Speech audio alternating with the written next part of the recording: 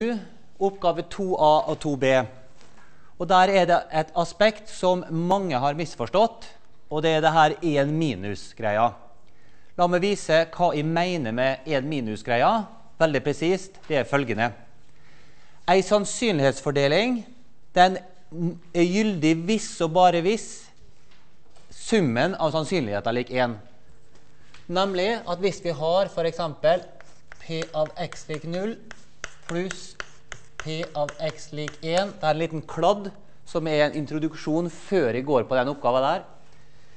Pluss P av x lik 2 pluss P av x lik 3 pluss Og helt opp til hva som helst.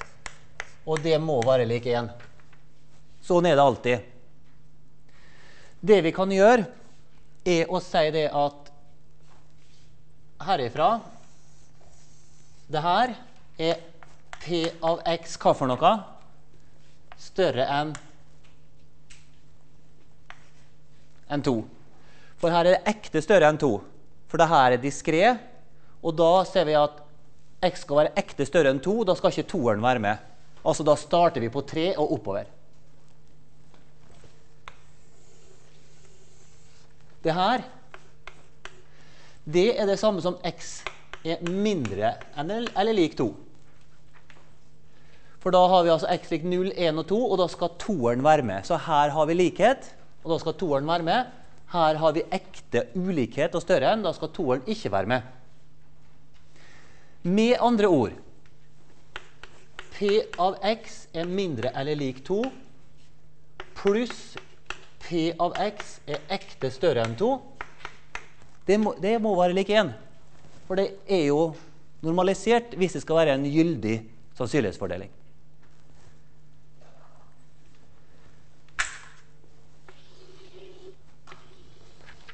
Så kan vi bare flytte en karen der på andre sida, og da får vi P av x er større enn 2. Det er lik 1 minus P av x er mindre eller lik 2.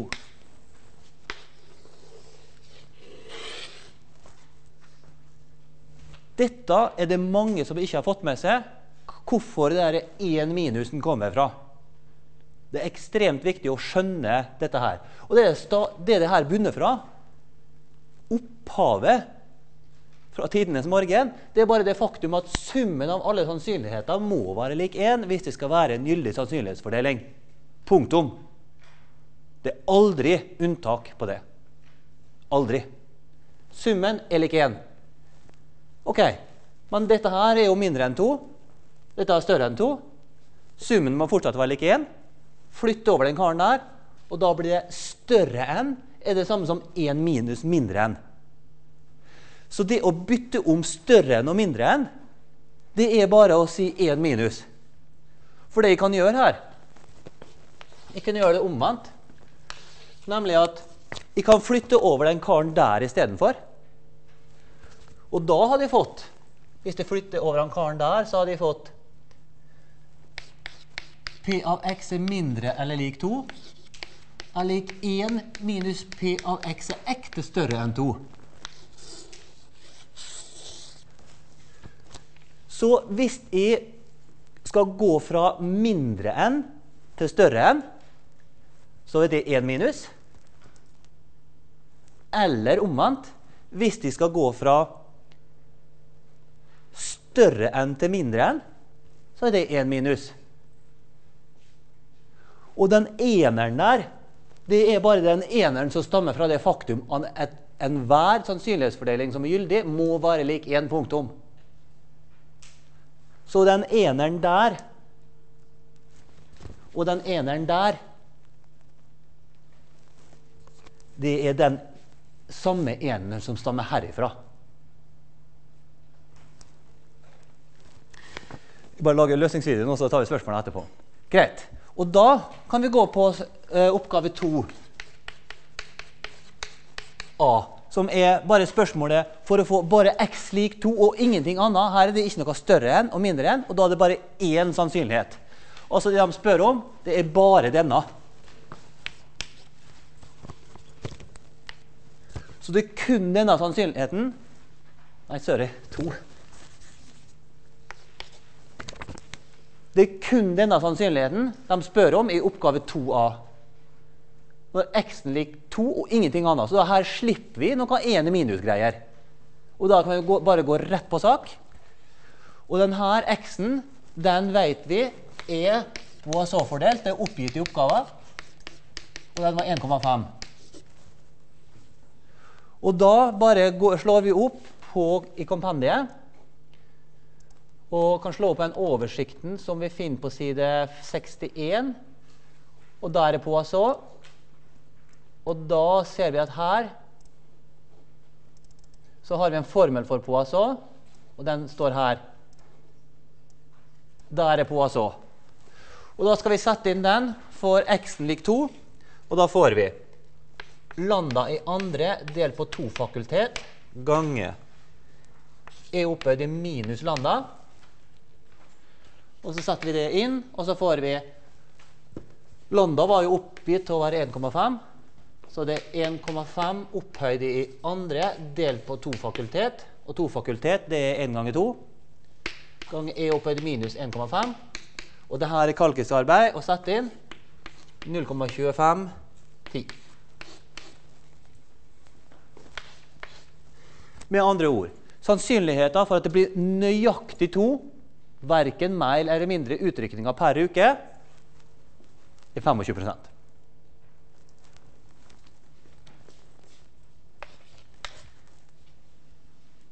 B.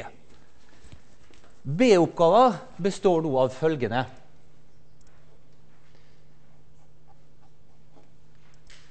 Hva er sannsynligheten for at det skjer mer enn to utrykninger i løpet av ei uke? Jo mer enn to utrykninger, altså ekte større enn to. Det betyr mer enn to, altså fra tre og oppover. Men her ser du at det vi kan gjøre her, det er å regne ut Vi kan regne ut 3, 4, 5, 6, 7, 8, 9, 10, 11, 12, 13, 14, 15, 16, 17 og alt oppover, og det blir enormt med arbeid. Derfor er det kanonlurt å bruke seg av dette, nemlig at Større enn er det samme som 1 minus fra 2 og nedover. Og da slår denne her inn, den formelen her. Da går vi fra større enn til mindre enn, for det er veldig arbeidsbesparende. Og da er det 1 minus, og det stammer derifra. Og vi må forstå hvor den stammer fra. Det er veldig vanskelig å bli ferdig med en oppgave der. Så større enn 2 det er samme som 1 minus mindre enn 2. Av den grunn.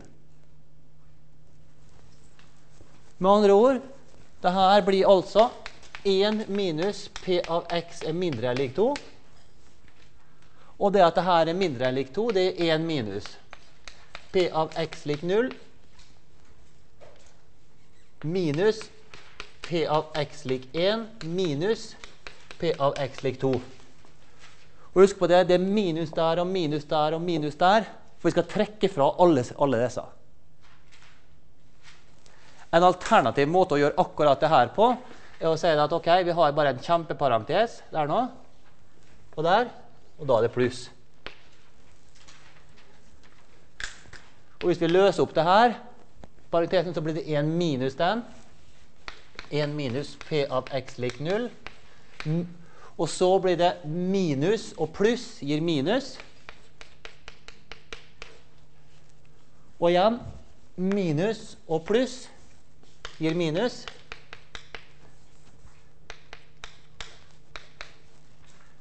Og nå kan vi sette inn i formelen, sånn som vi gjorde i stad, og bruke Poisson-fordelinga. Slå opp på side 61 i formelsamlinga og sette inn og få følgende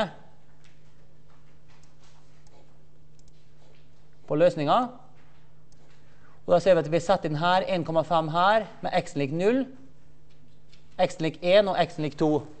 Så hvis vi faktisk setter inn dette her, så blir dette 1 minus 1,5 opphøyd i nullte del på null fakultet ganger e opphøyd i minus 1,5 minus 1,5 opphøyd i første del på én fakultet gange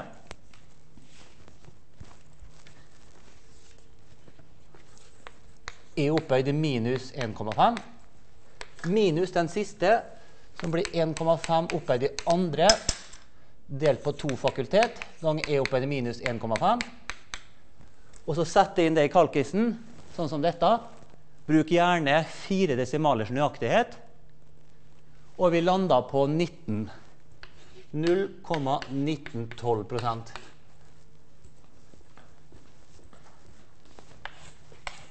Med andre ord sannsynligheten for at det blir mer enn to utrykninger på ei uke, er 19% Det betyr at det blir mer enn to. Det betyr tre eller, eller mer. For da skal toeren akkurat ikke være med.